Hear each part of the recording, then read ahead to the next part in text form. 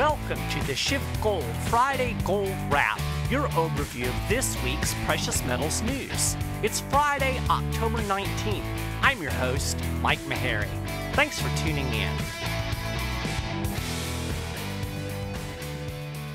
Well, it's been another pretty good week for gold and not such a great week for the stock market, at least for the most part.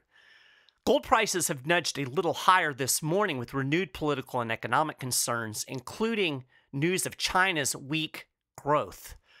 Gold looks to be on for its third straight weekly gain. The recent sell off in stocks, not just here in the US but globally, has certainly helped gold along with renewed safe haven buying. Gold hit a two and a half month peak of $1,233.26 on Monday. From a technical standpoint, gold has been testing resistance near its 100 day moving average around 1226. Some analysts say a break above that level could trigger further gains and put pressure on short sellers. We currently see record shorts in the gold market. Interestingly, we're seeing these gains in the gold market despite a strong dollar. The dollar index is holding near a one week high after the U.S. Federal Reserve minutes from the last meeting reiterated a hawkish stance on monetary policy. The mainstream normally would consider this a bearish signal for gold. Of course, the biggest news this week has been the volatility in the stock market. The Dow dropped 327 points, or 1.3%, on Thursday. It was down as much as 471 points. Tech stocks fell sharply, sending the NASDAQ tumbling 2.1%. This all came on the heels of a huge drop of over 1,300 points in the Dow last week. Now, stocks rebounded on Tuesday. They were up over 500 points before another wobbly session on Wednesday with the Dow closing down over 90 points. The Dow and the S&P 500 have both dropped more than 4% in October. Meanwhile, the Nasdaq is down almost 7%. Now, as I talked about last week, rising bond yields are probably the biggest factor driving this market volatility.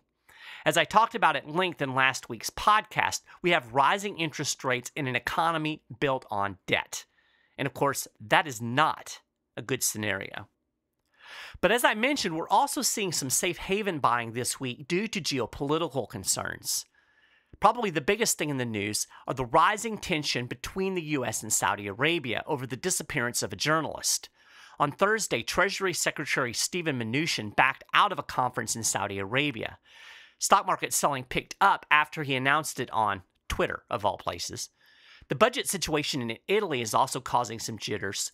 The European Commission said on Thursday a draft 2019 budget from Italy was, quote, in particularly serious non-compliance with EU rules. This sets the stage for an unprecedented rejection of the country's fiscal plan. Then we have the ever present concern over the trade war. China's Q3 economic growth came in at the slowest rate since 2009. And the whole Brexit thing, well, that isn't exactly going smoothly either. So, a lot of concerns out there. Uncertainty is historically good for gold, and I think that's part of what is pushing prices up despite the headwinds created by rising rates and the strong dollar. So, the question on everybody's mind is this the beginning of a bear market? Has the stock market bubble finally burst? Are we on the cusp of a big crash? Well, I have no idea.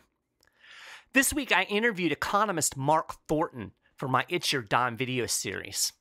He's written a book that explains how skyscrapers can help us predict economic crashes.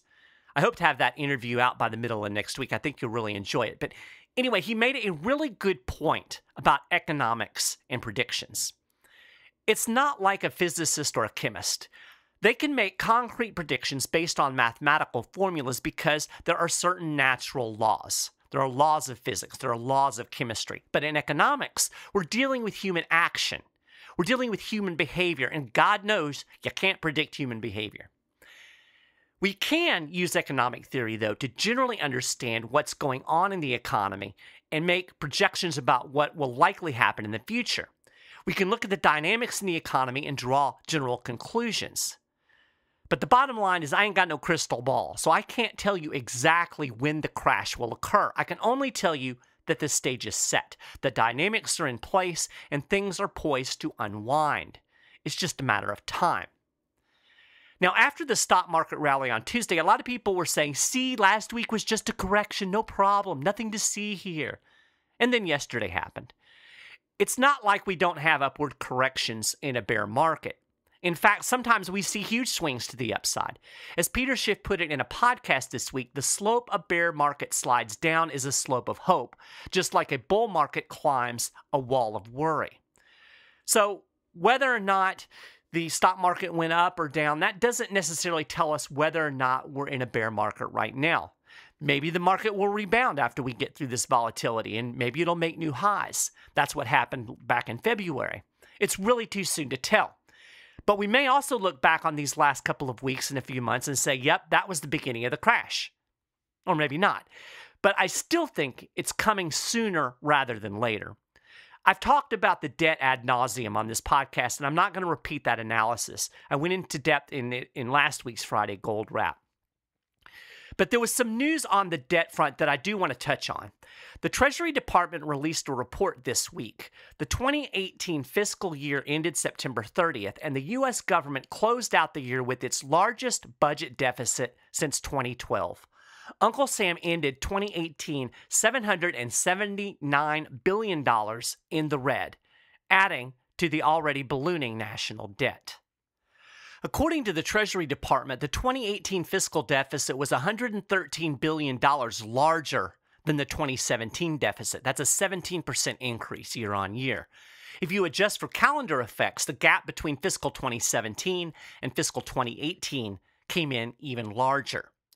Now, we've had bigger deficits. Obama ran some that were higher. Trump apologists will be very quick to point that out.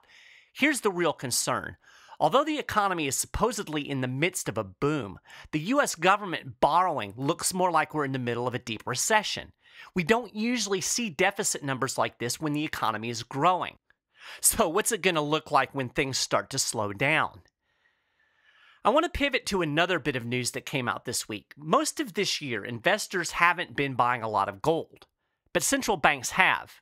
Well, some central banks have. You can add Hungary to that list.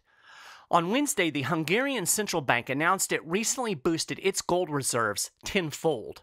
According to its website, the National Bank of Hungary now owns 31.5 tons of gold. That's up from 3.1 tons. It was the first significant purchase of gold by Hungary since 1986. A statement by the bank said the increase in gold stocks was intended to increase financial stability, and strengthen market confidence. Quote, in keeping with the historical role of gold, it remains one of the safest instruments in the world, which even under normal market conditions exposes its stability and confidence. The bank emphasized that stability goals drove its decision to buy gold, and it isn't merely a short term investment.